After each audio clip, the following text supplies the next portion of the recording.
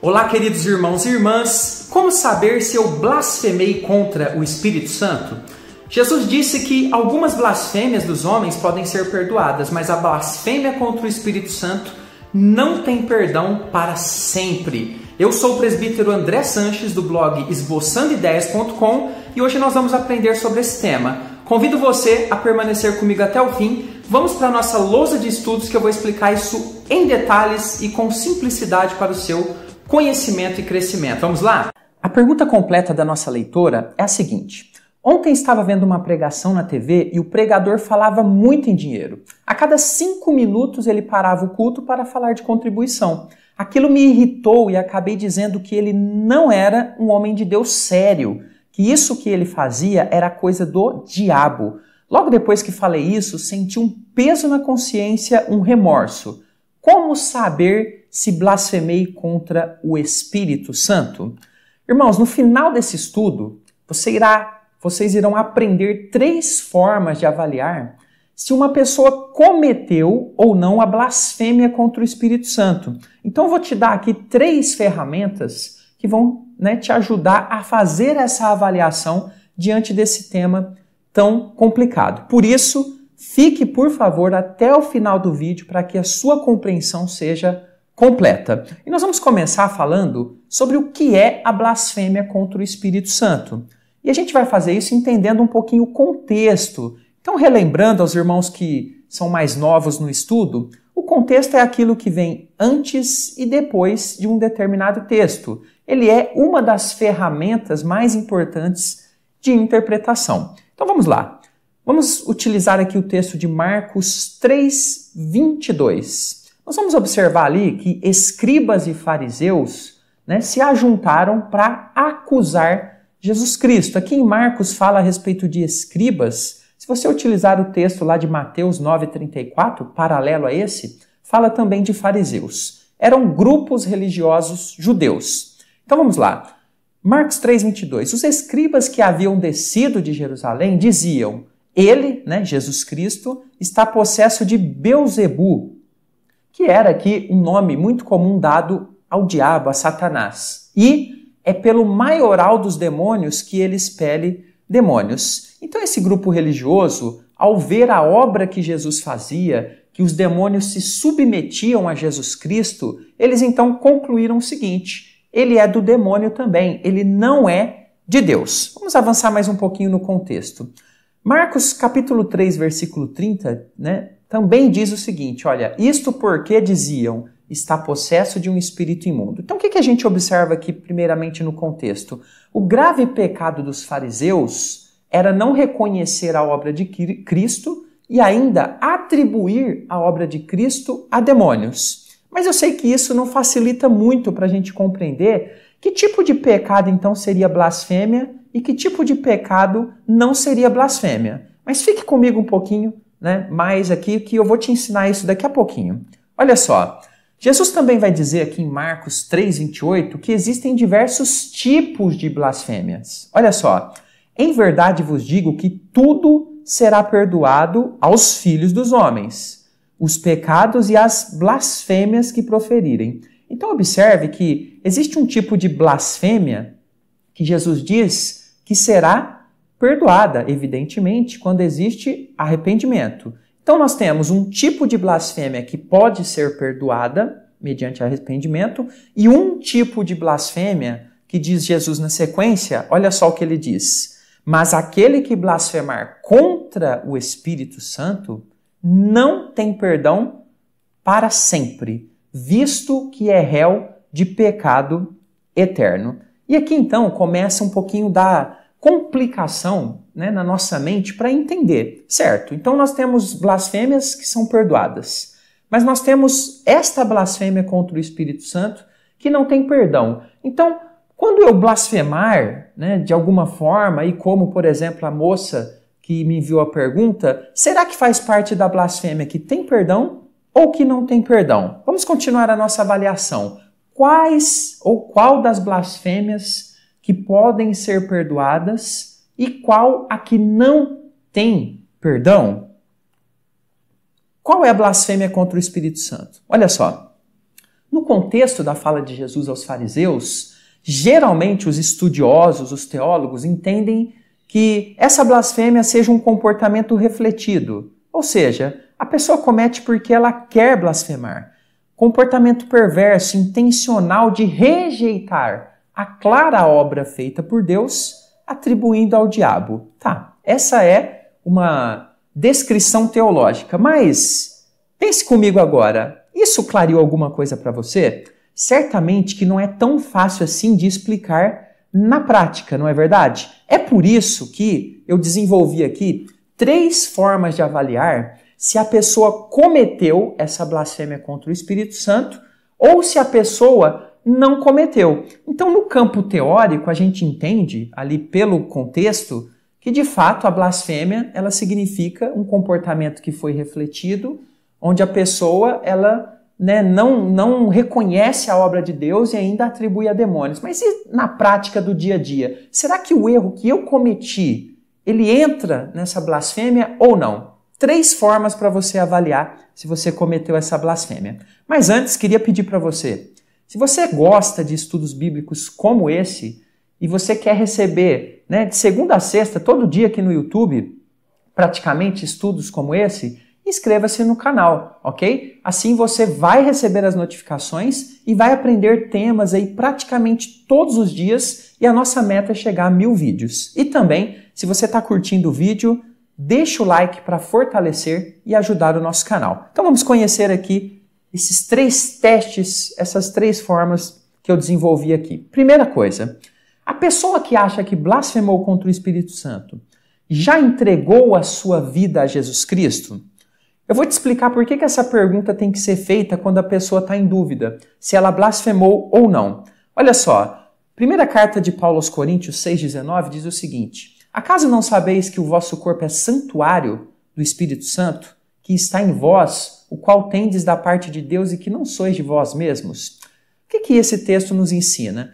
Que o crente, que é para quem Paulo está falando aqui, ele é morada do Espírito Santo. Então veja, se uma pessoa é verdadeiramente salva, ela tem o Espírito Santo, então ela não pode blasfemar contra esse Espírito. Ela já está selada com o Espírito Santo. Ela é templo do Espírito Santo. A Bíblia diz que ela pode entristecer o Espírito Santo, que ela pode até apagar a ação do Espírito Santo, né, no sentido de que ela não está ali andando corretamente, mas a gente sabe que a presença do Espírito Santo vai incomodar essa pessoa e vai levá-la ao arrependimento. Então, um salvo verdadeiro não blasfêmia contra o Espírito Santo, ok? Primeira carta de João, capítulo 1, versículo 9. Se confessarmos os nossos pecados, ele é fiel e justo para nos perdoar os pecados e nos purificar de toda injustiça. Então, observe o seguinte: quando existe confissão de pecados, existe perdão. Então, a gente conclui que quando a pessoa não é salva, né, de fato ela não se arrepende verdadeiramente. Agora, quando a pessoa é salva, o Espírito Santo vai incomodá-la, vai haver arrependimento, confissão e perdão. Então, o salvo, ele não comete a blasfêmia contra o Espírito Santo. Nós não temos na Bíblia pessoas salvas né, sendo indicadas ali como que podem cometer esse pecado. Ele é um texto direcionado a fariseus e escribas ali que estavam, como nós sabemos, totalmente distantes de Deus.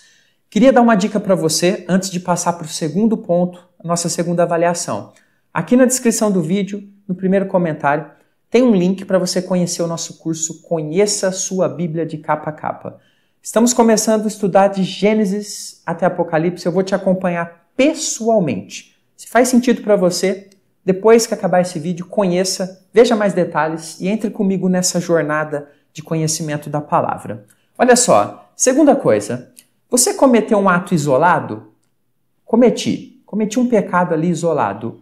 Houve arrependimento sincero pelo que você disse ou fez?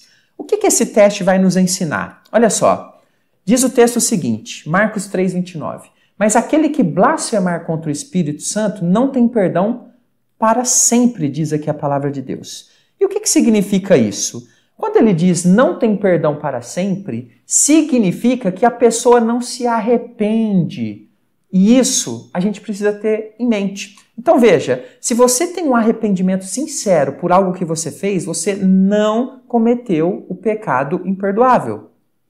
O que você está tendo é tristeza pelo pecado. Então você vai até o Senhor, pede perdão e segue a sua vida, ok? Você não cometeu o pecado imperdoável. Porque a palavra de Deus diz que quando existe arrependimento, Deus não lança fora, Deus perdoa. Então a gente conclui o quê? Que não tem perdão porque não tem arrependimento. E quando a gente avalia então os fariseus, a gente observa exatamente esse fato.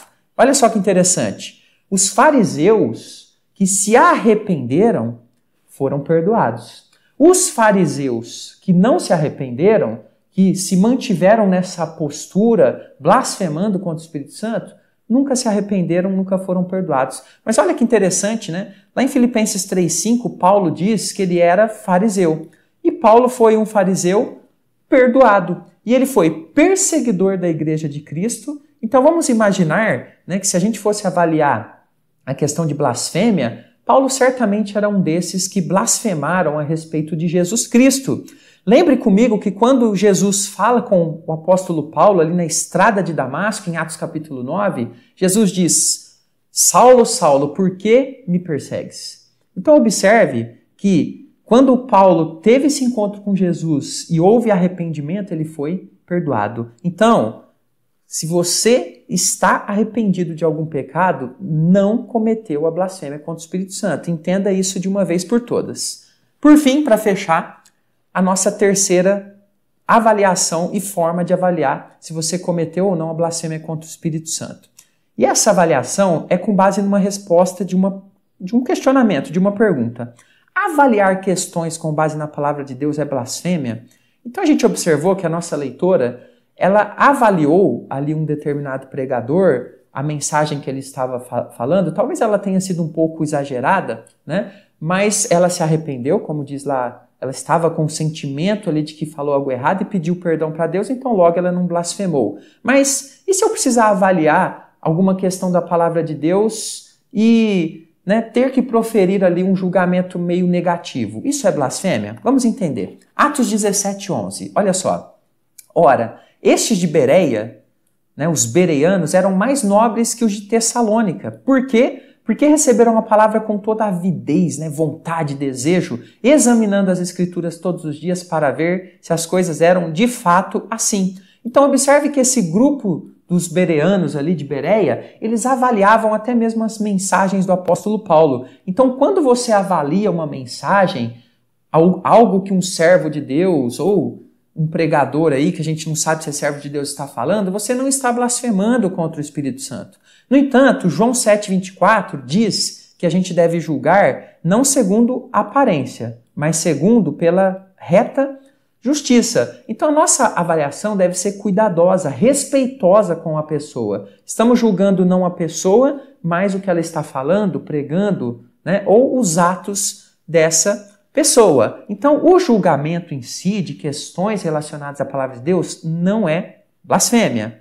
Olha esse texto de 1 João 4, 1. Amados, não deis crédito a qualquer espírito, antes provai os espíritos procedem de Deus, porque muitos falsos profetas têm saído mundo afora. O apóstolo João então ensina ali os servos de Deus a serem criteriosos.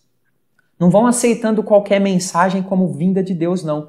Avaliem, reflitam, pensem, porque os falsos profetas estão também pregando. Então, não se preocupe quando precisar avaliar o que um pregador está falando. Inclusive, um vídeo como esse. Avalie tudo o que está falando, isso não é blasfêmia de forma nenhuma. Então, para fechar, muito importante, fique comigo, já estamos terminando. 100% das pessoas que eu já atendi aqui com aconselhamento que acham que blasfemaram contra o Espírito Santo não cometeram esse pecado. E vou te explicar por quê. 100% de quem blasfemou não se preocupará com isso. Quem comete o pecado de blasfêmia contra o Espírito Santo não está preocupado com Deus, não está preocupado com arrependimento, não está preocupado com pedir perdão, não está preocupado com nada disso, ok? Porque é uma pessoa que não vai se arrepender por isso não será perdoada. Se arrependeu de algo que você fez, ok? Está com o coração ali diante de Deus, está se dobrando perante Deus pedindo perdão, então você não blasfemou contra o Espírito Santo. Acalme o seu coração, resolva isso na sua mente, compreenda essa verdade da palavra de Deus, descanse e siga né, melhorando de vida, fazendo a vontade de Deus, né, trabalhando na sua santificação. Se ficou alguma dúvida desse estudo, coloque aqui nos comentários. Coloque também se você gostou ou alguma outra dúvida que você queira que a gente responda. Por favor, deixe o seu like para fortalecer o nosso trabalho e para mostrar para mim que você está gostando dos estudos. E claro, se você não gostar também, pode deixar ali o dislike ou dislike, ok? Inscreva-se no nosso canal, esteja conosco aqui nessa grande comunidade que estamos formando. Vamos chegar em breve aos mil vídeos, é o nosso foco, então vamos gravar muito. Faça parte disso, esteja conosco. Ore também pelo nosso trabalho, porque não é fácil. Deus abençoe a sua vida. Até o próximo estudo. Fica com Jesus.